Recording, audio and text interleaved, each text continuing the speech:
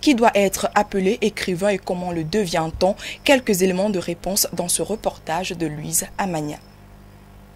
L'écrivain. Cette signification est devenue principale de nos jours. D'après le dictionnaire Larousse, un écrivain ou une écrivaine est à l'origine d'une personne qui est habile dans l'art d'écrire ou qui en fait son métier. Dans d'autres cultures, l'écrivain est aussi un artiste, un seigneur de la langue, un créateur qui œuvre dans le domaine de la littérature. Il tire ses revenus de la vente de ses écrits. Un métier à plusieurs facettes. L'on a tendance à le confondre à celui d'auteur ou encore de romancier.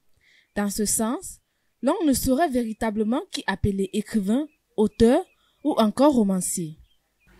Nous sommes potentiellement tous des auteurs à partir du moment où nous produisons un écrit qui nous appartient, quel que soit le domaine d'activité, que nous soyons de l'art littéraire ou non. Cependant, il est des auteurs qui publient des ouvrages, mais qui ne sont pas forcément des écrivains. Euh, la différence fondamentale qui existe, c'est que l'écrivain, euh, ce qui le caractérise, c'est deux choses. L'engagement, il y en a qui sont des écrivains engagés, l'engagement littéraire, et puis euh, c'est le style. Écrire un livre est d'abord un besoin, une nécessité de dire, de raconter une histoire ou un récit. Plus qu'un métier, l'écrivain est souvent une vocation qui requiert une discipline, une bonne formation et concentration. Les caractéristiques, s'il faut les mentionner, euh, je dirais simplement que on est écrivain et on devient auteur.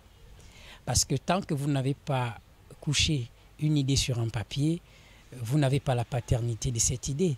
Pourtant, on peut tous avoir reçu une même, une même formation en peut-être lettres modernes françaises ou encore en linguistique bilingue, mais on n'a pas la même plume.